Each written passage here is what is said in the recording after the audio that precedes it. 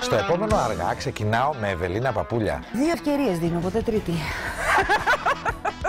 Ποτέ. Περνάω στον ροκ Μπάμπη Στόκα. Έμαθα λίγο πιο αργά κιθάρα. Δηλαδή δεν με απασχολούσε τόσο πολύ. Με απασχολούσε περισσότερο να τραγουδάω. Και καταλήγω στο rewind με τον Γρηγόρη Βαλτινό. Καμιά φορά όταν είμαι σε μεγάλη ένταση δουλειάς, ούτε θυμάμαι να φάω, ούτε να κοιμηθώ, τίποτα. Ο Μπαξές του Αργά έχει τους πιο σπάνιους χαρακτήρες, γι' αυτό εξερευνήστε τους. Με σαν 7.30 εδώ στα Action 24.